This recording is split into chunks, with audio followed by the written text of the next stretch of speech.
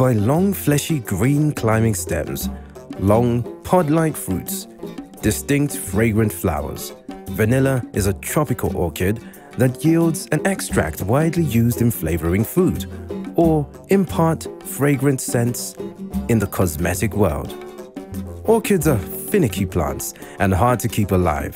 This particular one requires hand pollination during a short flowering to produce the cash minting vanilla beans.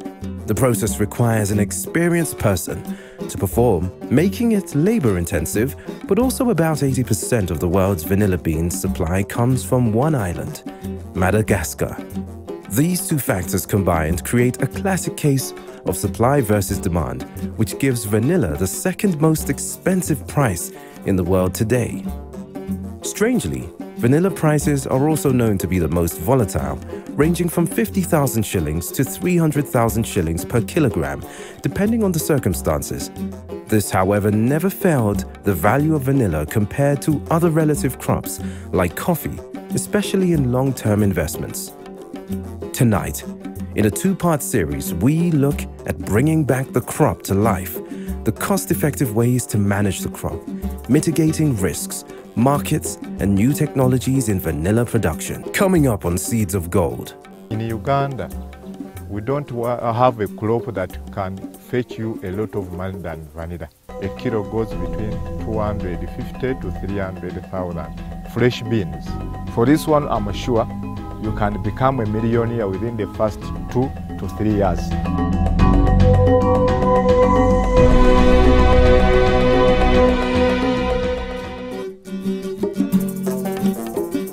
This is Godfrey, a renowned vanilla farmer down in Masaka district. Starting out 10 years back, Godfrey Chigoye joined his father on a vanilla forest journey.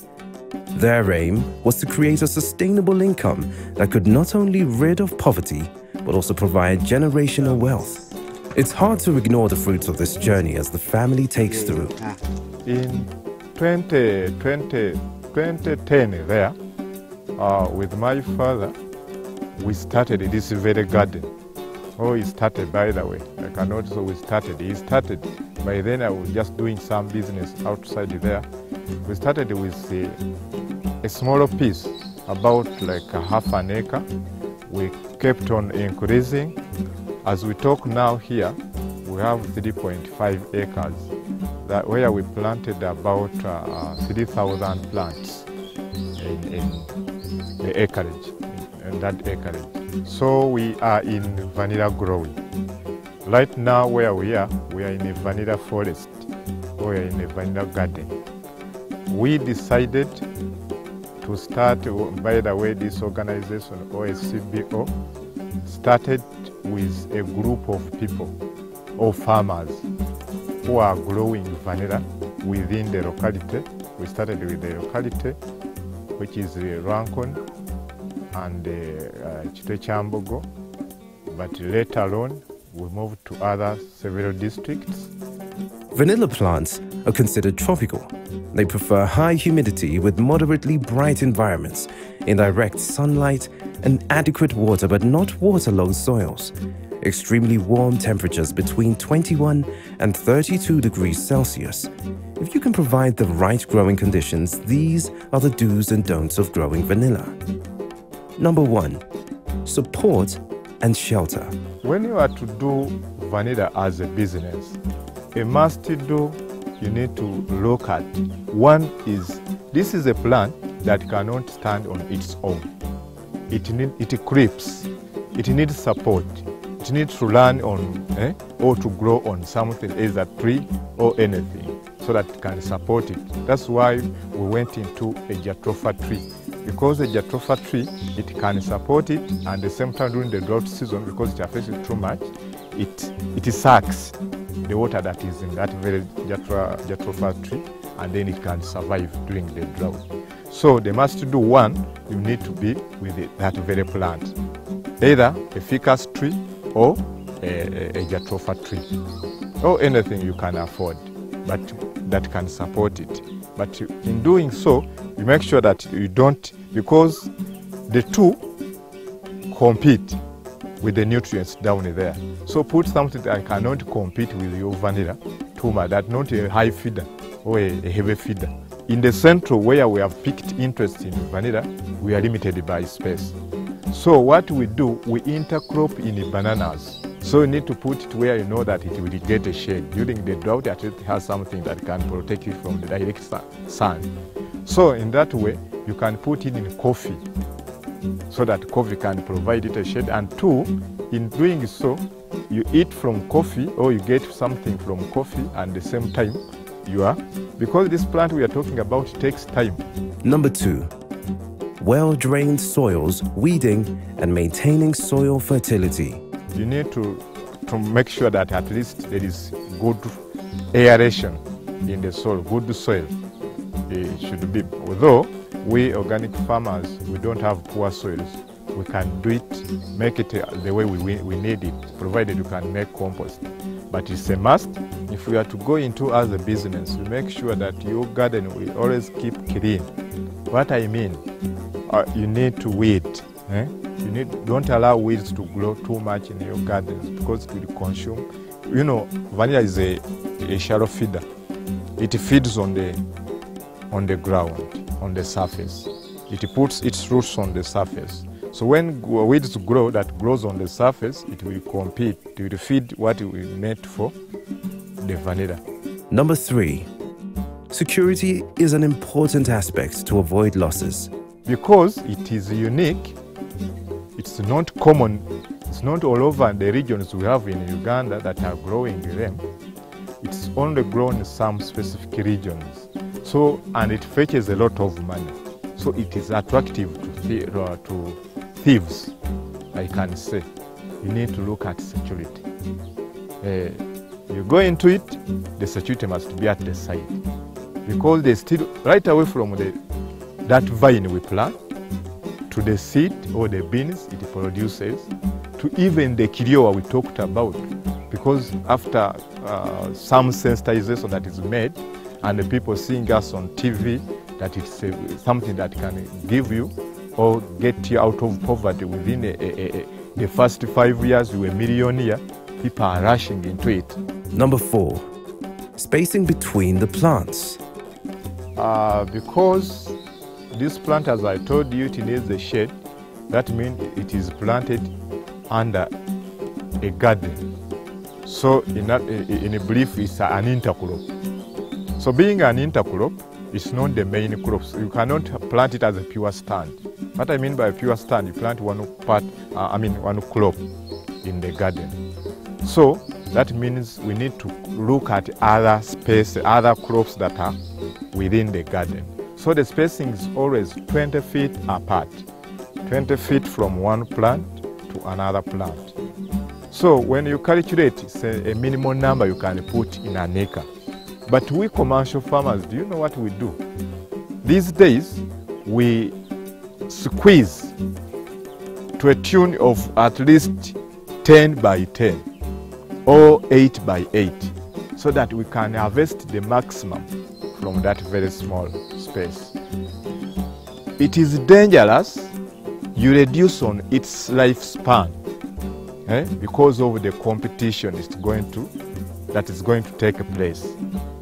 You are putting 10 by 10, 8 by 10, but if you are not keen, you did not increase on the fertility or you don't look at the fertility maintenance, uh, soil and water conservation measures, you will consume all what is in the garden and then the next day you find that they don't have what is enough. So it reduces slowly on the production, gradually it dies. It's simple. What you do, just know an acre is 132 feet by 330 feet. So viewers how to there, I can give you an homework. You just divide, if we are to use 10 feet by 10 feet, just divide 132 meters, I mean feet, by 10. That is 13.2 lines. By 330 feet, divided by 2, I mean by 10, that is 33 feet. So you divide, you multiply 33 feet by one, uh, 13 lines, you get the answer. Number five, availability of water. The other thing we need to look at is the watering because as I told you earlier, that this, the reason why we put it in the shade, it is automatic that we are protecting it from the sun. So that means it does not need sun, too much of it. So that means during the drought when there is a lot of sun, there is eh, water scarce. So you need to water.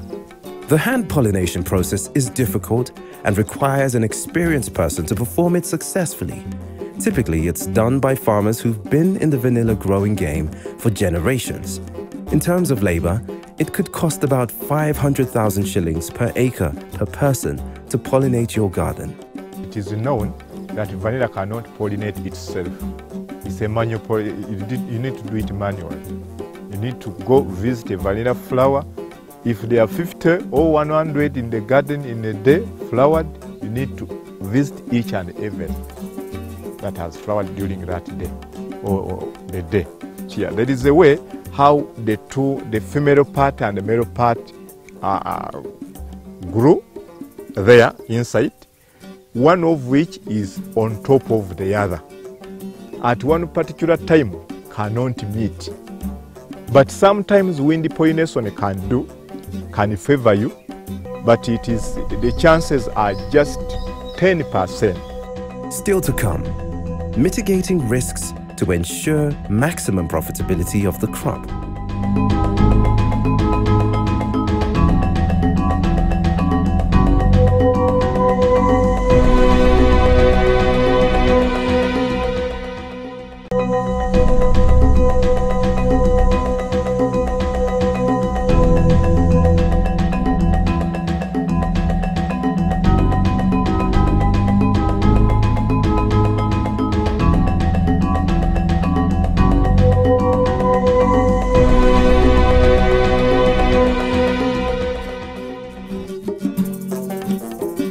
Now that you have the knowledge of what is needed to grow vanilla successfully, it's time to pick up the tools and embark on kickstarting the investment. But first, the basics of propagating, planting, and aftercare of the vanilla plant. The vanilla is propagated by uh, using cuttings.